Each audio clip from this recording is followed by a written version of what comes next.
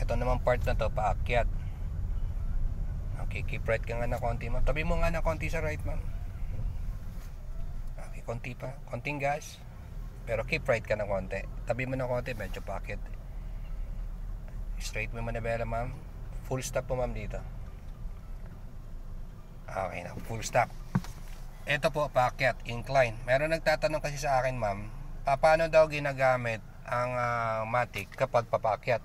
Sa manual kasi mahirap eh. Mm. May kombinasyon sila ng clutch and brake, ng clutch and gas. Sa matic, napakadali. Hanggat nakatapa ka sa brake, hindi po yung gagalaw pa patras. Once na binitawan mo yung brake, pakiramdaman nga natin kung ano mangyari mo, bitawan mo yung brake, 100%.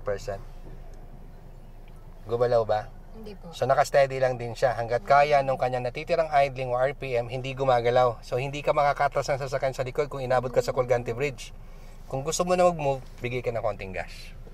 Very light lang sa gas. So ganun, no worries pag matic. Pero pag manual kasi ibang usapan sa ang daming ginagawa. Stop mo nga ulit ma'am. Full stop. So full stop. So nakalagay ho yan sa drive, naka letter D, nakatapak po yung ating estudyante sa brake pedal. Bitawan mo nga yung brake pedal ma'am. Bitaw, release. Hindi yun naman kami gumagalaw. Oh. Kaya kasi nung natitirang idling or RPM ng makina, hindi gumagalaw siya ng paatras. Pag gusto mo gumalaw ng forward, very light lang sa gas pedal. Let's go! Alright, yan po ay konting ah, driving tips and tricks para sa ating mga nagtatanong tungkol sa matic transmission, hanging or inclined position. Mabuhay po! Drive and keep safe always!